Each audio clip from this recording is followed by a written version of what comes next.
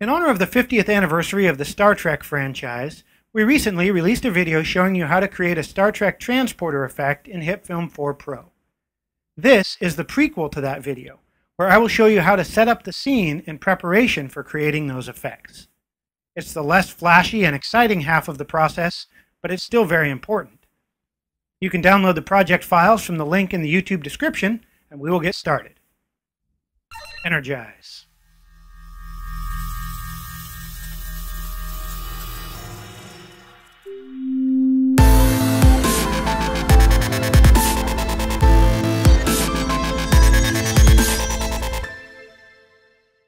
The simplest way to do this shot is with a locked off camera, like I did in the intro.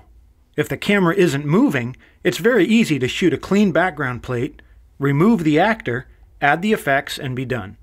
But it can be more interesting and exciting to add effects into a shot with a moving camera, and I wanted to address that more challenging situation. So here is the finished shot we will be creating. Note that the camera is moving during the effect, and we don't cut immediately afterward. Giving the actor a chance to interact with the scene a bit after the transport can make the effect more convincing. Our first step in a shot like this is to remove the actor. In this case, I'll be transporting into the scene, so I need to remove myself from the beginning of the shot. If I was transporting out of the scene, I would use the same process to remove myself from the end of the shot, so I disappear after being beamed up. There are two main areas that I'm obscuring. The big boulder I'm standing on and the hill behind it. Because the camera is moving, the parallax between these areas means that they need to be replaced separately.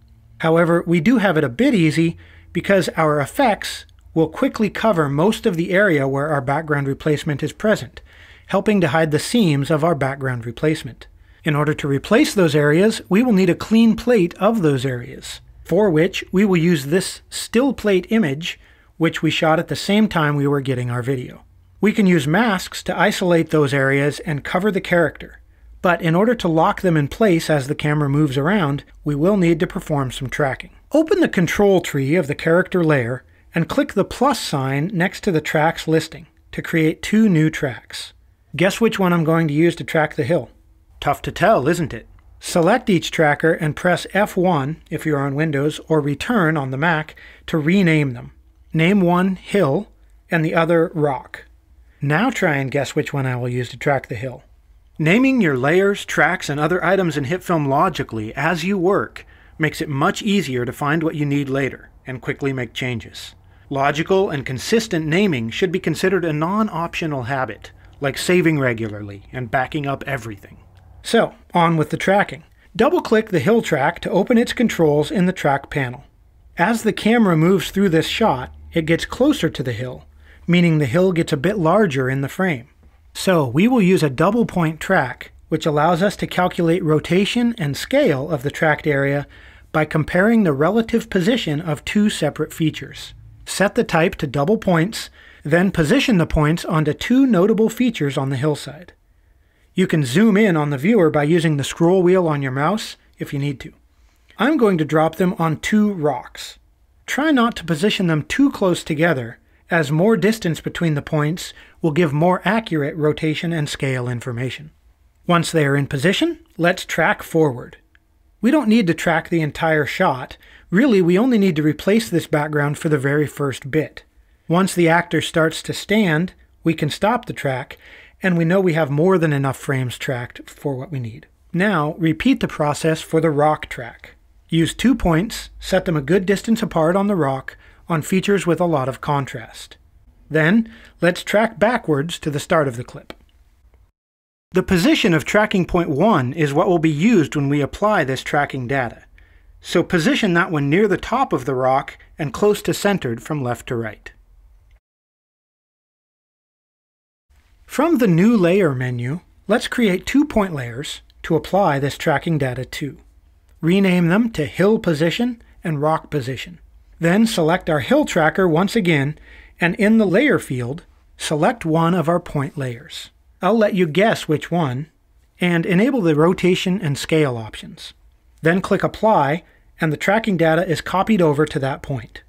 Do the same for the rock tracker. Select the rock position point, enable rotation and scale, then apply. Let's trim the duration of these point layers to the area we tracked. It isn't necessary that we do this, but it gives us an easy visual representation of how many frames include tracking data. Switch back to the viewer now, and we can create our clean background plate. For this, we will use two copies of our still plate image. So, drag it to the timeline, then press Command D or Control D to duplicate it. Rename these copies to Rock Repair for the top one and Hill Repair underneath. Make sure that Rock Repair is on top, so it will be in front of the hill, and then hide it. Select the Hill Repair layer and reduce its opacity to around 50% so we can align it with our footage. Make sure you're on the first frame and use our tracked reference points to align the two. We will need to increase the scale of our image a touch to around 106% to get a decent alignment. We will now use a freehand mask to cut out the hillside. With the freehand mask tool, select our hill repair layer, then draw a mask around the actor. Leave a bit of space around me so we can feather the edges, but don't make the mask excessively large. We want to keep as much of the original footage as possible. When you get down to the rock, make sure to include the top of the rock in the mask, so this layer overlaps behind the rock repair layer we will set up next. With the mask completed, turn opacity of the layer back up. Then open the mask shape controls and adjust the mask feather strength to blend our repair into the footage. On the timeline, parent the hill repair layer to our hill position point, and it will lock nicely into place, significantly improving the shot by removing me from it. Now to repair the rock, we will use the same process on the rock repair layer. Enable the layer, reduce its opacity, and align our overlay with the top of the rock. On this layer, we need to follow the edges more closely to give this rock a hard edge where it overlaps in front of the hill, so turn opacity back up to 100 so we can see the edges. Then use the freehand mask and draw around the top of the rock. We want to be fairly precise here, because the back edge of the rock doesn't allow for a lot of mask feathering. As we come around the front of the rock, Try to follow harder lines so the harder edge of this mask isn't obvious. Click the first point again to close the mask shape, then adjust the alignment further if you need to. Parent this layer to the rock position point, and now we have proper parallax between the hill and the rock, giving the shot a much more natural look. Our repairs would blend in a bit better if the contrast matched the background though. So let's add a curves effect to the hill repair, and give it just a bit of an S-curve to boost the contrast. Once you are happy with it, right-click and copy the curves and paste them onto the rock repair layer as well. I might also pull a bit of red out of the rock layer to get a better color match. Now we need to isolate our person onto a separate layer. I was going to say actor, but I'm not. I'm horrible at acting, but I am a person, so let's stick with that. Being a person is within my skill set. The particle effects we create will be based on the shape of our person. And in order to wrap the particles around the person, he will need to be a separate layer from the background. Since a person doesn't move during molecular transport, we can use a still image for this. To create one, let's export a single frame from our video. Advance to just before the person starts moving, let's say 8 seconds, and export frame from the options menu of the viewer. Let's name it character plate or person plate if you prefer, and export.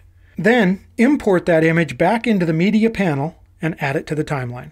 Use a freehand mask to carefully follow the edges of the person and extract them from the background.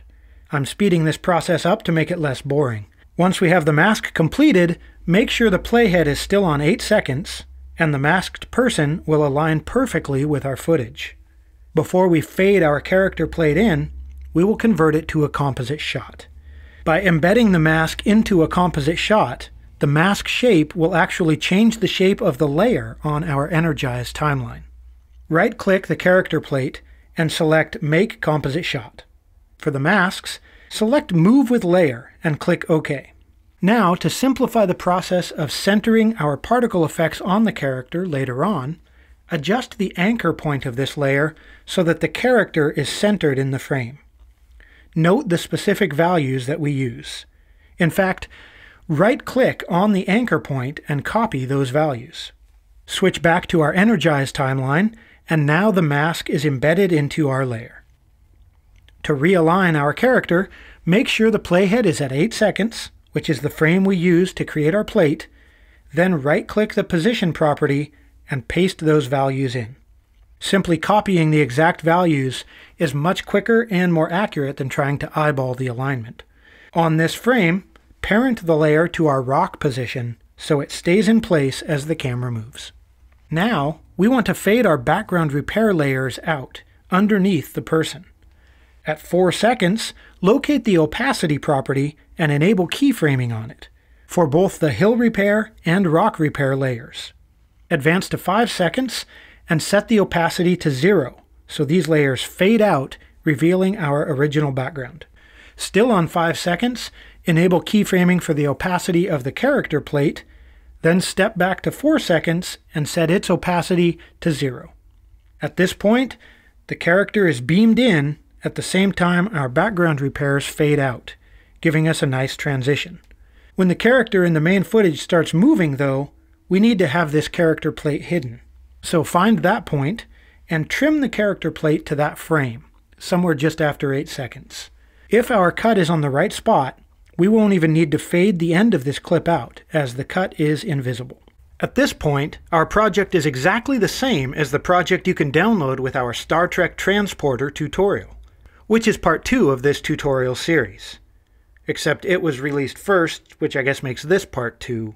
Anyway, if you haven't seen the other part yet, or if you just want to carry on through the rest of the process from here, then follow the link on screen to learn how to complete this shot using particle effects and light flares. Feel free to subscribe if you haven't yet so you don't miss any of our future HitFilm tutorials, and thanks for watching.